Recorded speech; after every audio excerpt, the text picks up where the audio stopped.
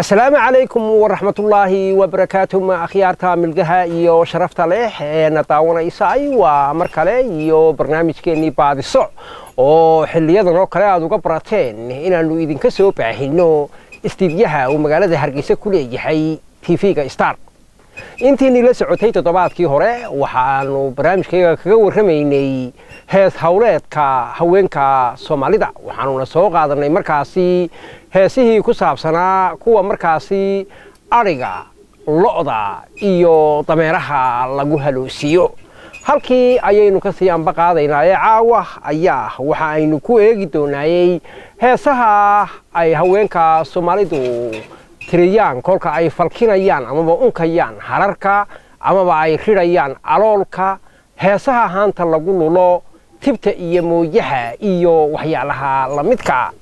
Hararku waxa uu ka mid yahay agabyada aqalka soomaaligu aanu sinaba uga maarmin.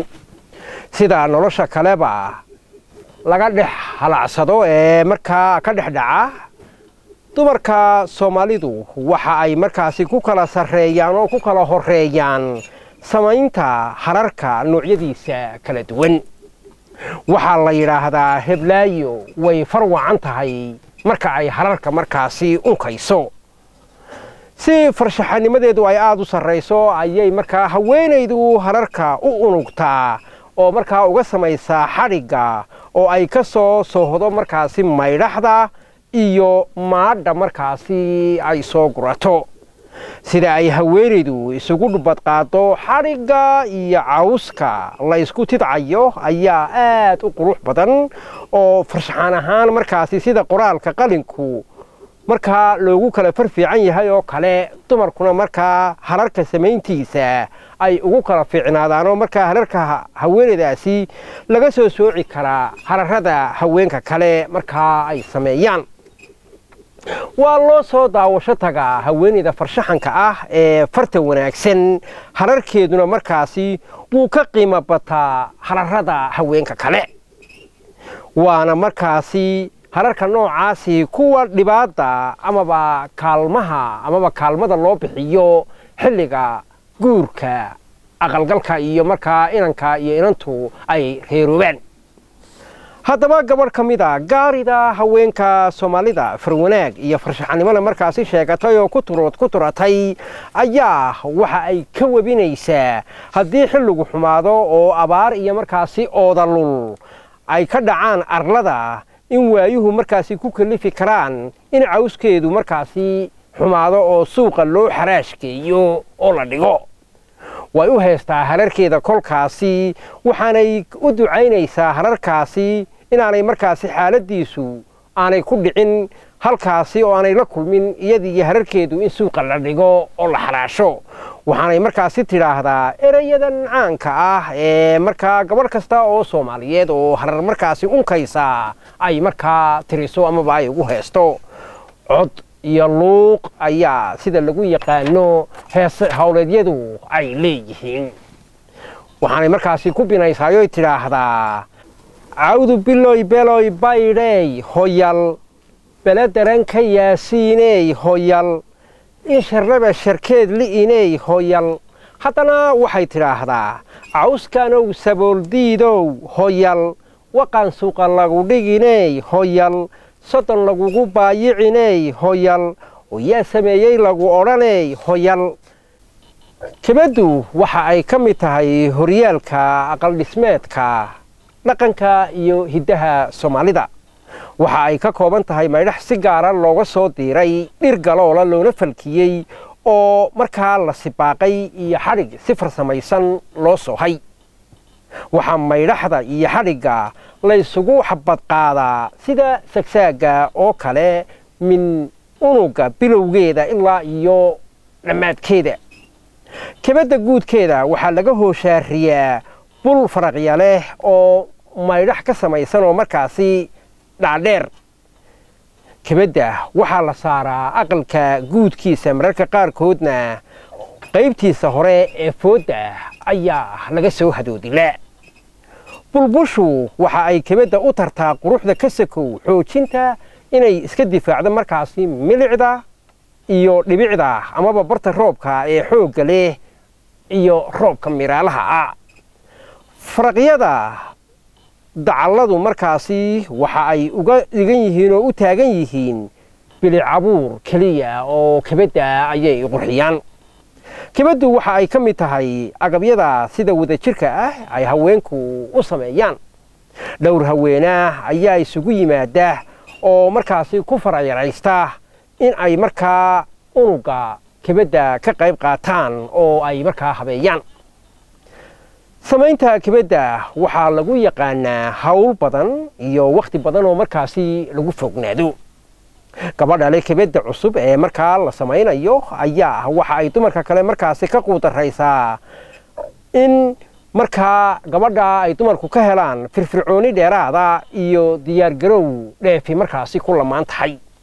Heesta kebaddu waxa ay leedahay luuqda ugu macaan heesaha loo yaqaano hees hawleeda haweenka soomaalida. Heesta kebadda ee markaa inagu soo maqanay iminka aynu goordhow dhegaysan doonaayey waa guubaabo iyo afgubaati duurxula oo ku socda gabadha markaasi kebadda lala samaynayo iyada oo markaasi lagu luuqaynayo ayaa waxa ay dumarku ku bineeyaan heestaasi. Naagta kebadda lehey kaalin daraney adaankayd u sii dhiganay oo markaa ay ku luuqeeyaan. Naagta kebedda lehey kaalin daraney adaankayd u sii dhiganey koronkor cuni mayno kariba mayne karuur geel ma lahayaayey cod aad uga qurux badan kayga ayay haweenku markaa midhaha ku qaadaan iyaga oo hawsha markaa ku fududaynayo oo dhinaca kalena ku bulshaynaya caanihii geela ee jinowga ahaa ama karuurka ahaa ee haweenku haweenayda kibadda loo samaynaya ka dalbadeen ayaa marka la keeno dumarka qaarkood ka wayiigaan amaba ay diidaan waxaanay dalbadaan caano kasoofeena waa caanaha dhayda amaba liska loo yaqaani gaar ahaana kuwa adhiga waxaanay yidhaahdaan iyagoo isla codkii quruxda badnaa ku qaadaya karuur geel waa kulo kabamba mayne kasoofeen ma lahayaayey marka intaas la yidhaahdo ayaa haddana kaafiyadda maansadu ay ku socoto la beddelaa oo bad cusub la galaayo la yidhaahdaa baarqab waa seedo sariba mayne sagaal jiraan irmaanayne. Waxay u jeedaan awrka baarqabka ah hilibkiisu waa adag yahay amaba lama qalo waxaanu u baahnayn in naloo loogo sagaal jir aan irmaanayn waa qaalingeela dhab ayaa loo baraarujinayaa haweenaydii markaa kebadda lala samaynayey waxaana loo tilmaamaa inay oon xoolaad oo weliba la carabaabay markaasi ay haweenka u diyaariso oo loo keeno waa caano geel oo jinow ama karuur ama dhanaan macaan hadbaka loo yaqaana. Hilib ayaa la soo qaaday isna oo waa tii sagaal jirka aan irmaanayn in markaa loo solo la doonayey oo tulud geela ah ama qaalin ama halan irmaanayn ayaa codsigu ahaa. Marka ay intaasi dhacdo ayaa waxaa loo daadegayaa in si toosa loo abbaaro ammaantii iyo markaa koolkoolintii kebadda iyo dhirta laga soo diiro maydhaxda xadhiggeeda cod markaasi luuq iyo jaanle ayay markaa haweenku halkaana ka sii ambaqaadanoo waxay yidhaahdaan iyagoo kebadda ammaanaya geedba geedka u dheer laga garaaciyey galool mudhay mulaaxdiyey geedka galoolku waa dhirta ugu wanaagsan ee maydhaxda kebadda lagu sameeyo laga soo diire markaa laga sameeyo. Intaas kadib iyada oo hawshii kebad samaynta lagu jiro ayaa waxaa isa soo daruurinaysa oo soo muuqanaysa lo'dii reerka oo soo xiro gelaysa saha iyo hamuunta loo hayn karo kolkaasi caana lo oo lisa oo diirani waa shay dabiiciya oo la wada naawilo. Dumarkii haddaba kebadda wax ka samaynayey ayaa dabadeeto ku madiixaya iyaga oo lo'da soo xirootay markaasi u dabaaldegaya si markaa caana looga soo liso waxaanay yidhaahdaan waa tan soo xiixilee xaaxi ka cadeey xalaawoy lo'deenniyey samaynta gabadhu waxa uu bilaabmaa had iyo gooraale oo haweenaydu ay ku farayaraysataa xilliga barwaaqada ah ee arladu ay rooban tahay. Waxaana haweenaydu markaasi ku dadaashaa inay kabaddeeda dhammaystirto inta naqaasi lagu jiro ee aan guriga markaa laga guurin. Inta badan waxaa geedigu yimaadaa marka uu jilaal dhaco nolosha dhaqanka iyo hiddaha soomaalida. Roobkuna uu markaasi ka hillaaco ama ka hogla hogleeyo meel kale oo halkaa la yaallo ka durugsan qof dumar ah ayaa haddaba dareentay in jilaalkii afka ku soo kala waaxay kabaddii oo weli ka qabya'a halasna markaas ay u tahay in la guuro oo xoolaha markaa lala naqraaco. Alle ayay haweenaydaasi ka baryaysaa inuu raxmad markaa roob gurigan ku siiyo inta aan laga guurin oo markaa ay geedii ka baxsato waayo kabadda ayaan u rarmahaynin. Kana xumaanaysa oo markaasi tacabqasaar ayay ka webinaysaa amaba ka warwaraysaayey waxa ay markaa tilmaamaysaa in samaynta kabiddu ku muddo dhaaftay oo markaa ay halis ku sugan tahay. Waxaanay tidhaahdaa waanay igu raagtay. Roobkii ayay ka hadlaysaa oo waxay tidhaahdaa waana igu raagtay waanan iska reebayaa roonow roob ii keen reerku ha ii nagaadee alleh waxa uu ka aqbalayaa ducadaasi roobkii ayaana markaa u da'aya oo waa la negaanayaa idihii riyihii lo'dii iyo geeliba markaa way wada dhalayaan. Odaygii reerkuna guriga ayuu joogaa isaga oo faraxsan iyadoo iyana markaa farxadda wax ka qaybsanaysa oo hoostana markaasi uga mahadnaqaysa allihii geedi ka badbaadiyey ayaa waxa ay marwadu rabbi markaasi soo asturay ku goohaysaayey oo ay odhanaysaa gelin dambeedka gaaridu raboobataa gelin dambeedka nin raga gogosha loo dhiga. Gelin dambeedka mawana nirigta loo goda mawo waa hal nirigteed gelin dambeedka gaaridu raboobataa gelin dambeedka nin raga gogosha loo dhiga gelin dambeedka mawana nirigta loo godlaa gelin dambeedkay caanuhu gadhoodhayaan aloolku waxa uu ka mid yahay agabyada ugu muhiimsan ee aqalka soomaaliga iyo waaxyihiisu ay ka koobmaan waxa uu markaa ka samaysan yahay duur dhuudhuuban oo dhumuc ahaanna aad u codoon iyo maryo suufa oo huna amaba calalla ah oo kala duwan. Midabaysanna markaasi oo si farshaxana laysugu soohay isku dhaf ahaan. Aloolku waxa uu had iyo jeeraale aqalka ka galaa dhinaca docda waana markaasi gabboodka ugu muhiimsan ee guriga ka xeera ee ka ilaaliya dabaysha. Kana dugsiya markaasi gabadanada dayradhaafka iyo wixii la mida hararka waa la unkaa hase yeeshee aloolka waxaa la yidhaahdaa waa la ridhaa oo la mida waa la sameeyaa. Heestan aloolka oo luuq iyo markaa iyona jiib leh waxaa ka mid a naagan duur ridhaney ducadalooley ninkeedii dabayl raaciyey naagan duur ridhaney ducadalooley wan loo dilay dugaagurayo tukuhu doonye doonyeeyey heestan kale ee aloolka waxaa lagu dhaliilayaa markaasi oo loogu duur xulayaa geel xeradiisii markaa diiday oo xero kale markaasi u ololaya faras xeradiisii diiday oo isna markaa xero kale u dananaya iyo gabadh xidhaha diiday oo markaasi ah halka ay heestu ku socoto marka laga gudbo ololka geela iyo daranka fardaha oo lagu suntayo kala duwanaanta sanqadhaha codka amaba cida ay sameeyaan. Geela iyo farduhu iyadoo la yidhahdo geelu wuu ololaa farduhuna kolkaa way dananaan.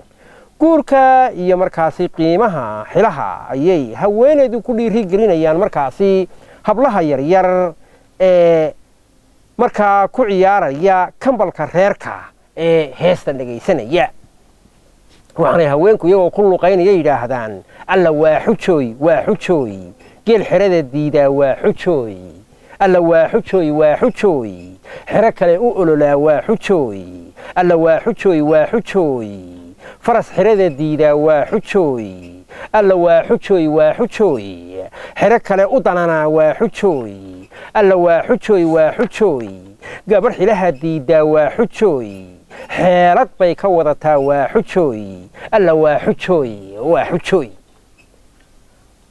هانتو وحاي كميتهاي قلبيادا أقلقا هدها إيو سوماليدو أي مركا كودا تاني أديك سيدان dhulista haantu waa hawl muhiima oo ka mid ah kuwa ay haweenku markaa qabtaan. Marka caanaha dhitada ahi gadhoodhaan waxa ay markaa u diyaar yihiin in haanta lagu shubo oo hawshii lulitaanka markaa la gudagalo. Haddii kale waxaa dhacaysa in caanuhu markaasi ay kala baxaan oo biyo iyo fud iyo faar markaasi ay noqdaan oo xumaadaan. Heesaha haanta waxaynu ka soo qaadan karaa oo iyana ka mid a hoobey hiyey haanta. Haan yahay bulloy ii bax yaan bacadka kuu dhigine.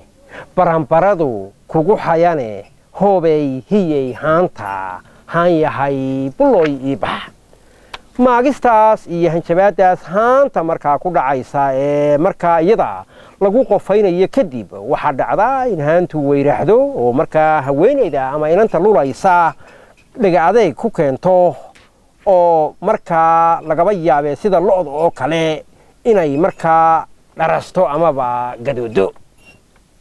Marka lulitaanka lagu sii wado muddo cabbaar ah ee laga war helo in haddaba haanta cagaaritaankeedii uu soo afmeermay oo laga gudbayo oo in la bixiyo iyo weedhaamintii ay soo fool yeelatay ayaa waxaa lagu sii kordhiya xanuunkii maagistii iyo markaasi tiiqtiiqsi oo waxa ay haweenku ku yidhaahdaan haanta iyagoo markaa cod luuq leh oo wanaagsan ugu heesaya hoobay hiyay haanta. Haan yahay bulloy ii bax. Laba qaar laguu kala jar laba qaalin kugu buube. Geeljire ku quraansay geed dheer lagaa soo lul.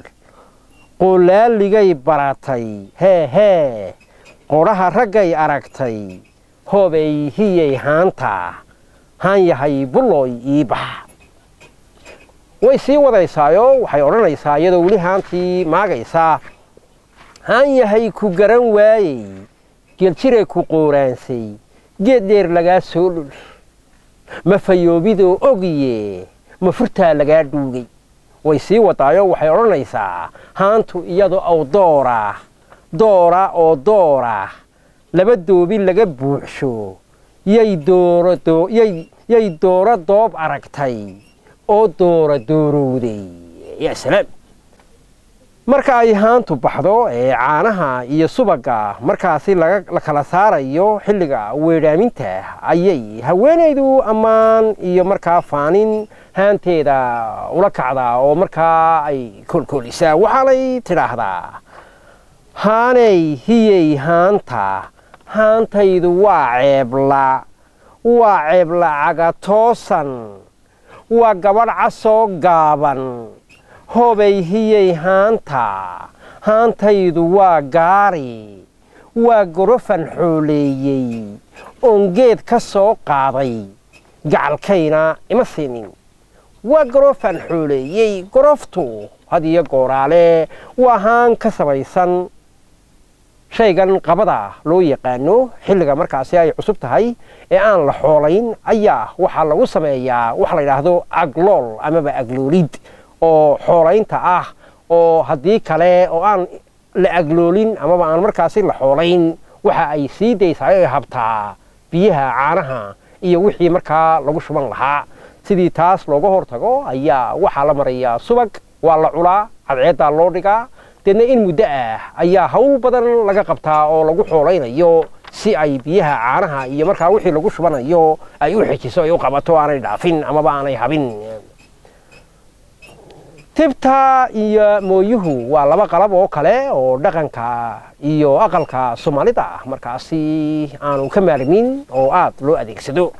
Hadhuurhka amaba garowgu waa raashin u baahan shaqo gaar ah. Inta ka horraysa in markaasi la kariyo oo markaa la cuno. Hawsha aanu ka maarmin waxaa ka mid ah in tib iyo mooye markaasi lagu tumo iyo in isha iyo baalka laga tuuro oo la hufo la kala haadiyo oo markaasi hawshaa in muddo ah lagu fognaado. Haddaba hees hawleed u gooni ah ayaa hadhuurka amaba garowga tumitaankiisa uu leeyahay. Inta badan laba hablood ayaa labada gacmood markaasi ka darandooriya oo intay laba tibood isu dabamariya mooyaha iyada oo markaasi adeegsanaya hees xambaarsan jaan jiib iyo markaasi luuq u gaara inan ayaa haddaba doonaysa inay hadhuur markaasi dunto waxaanay og tahay inaanay kelideed hawshaasi ka soo bixi karaynin waxse ay markaasi la socotaa in adduun yahay xeerba xeer iyo xabag cadaadeed iyo markaa xilbay adhi jiri wadaagtaa waxaa markaa xeer soomaalida u ahaa amaba xeer nolosha ka mida ah in maalinba qof u baahdo kaalmada qofka kale oo taasi markaasi laysugu abaal dhigto oo la isugu hayo markaasi abaalkaasi muddo dheer oo markaa uu raago.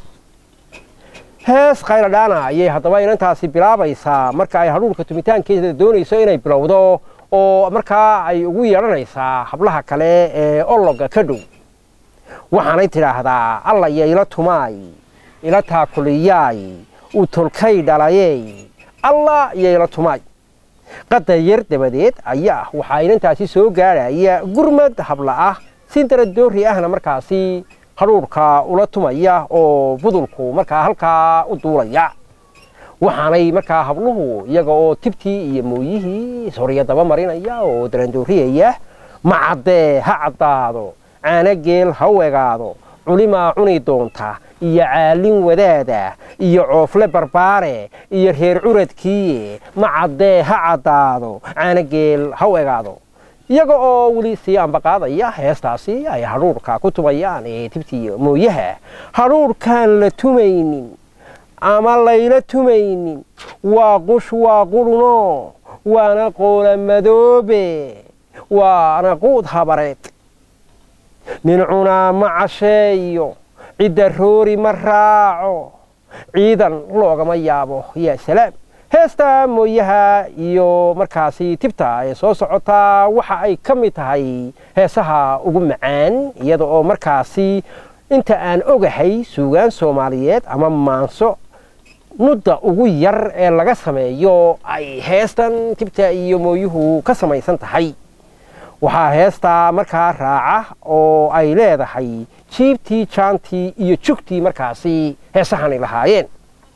Waxaanay ku bilaabantaa mooyaha mooyaha malablaha magicii mooyaan mooyaha mooyaha magicii calaliye calaliye ciiltire ciiltire tibahana tibahana magacood culusiyo culusiyo cabbanbaa la yidhaa.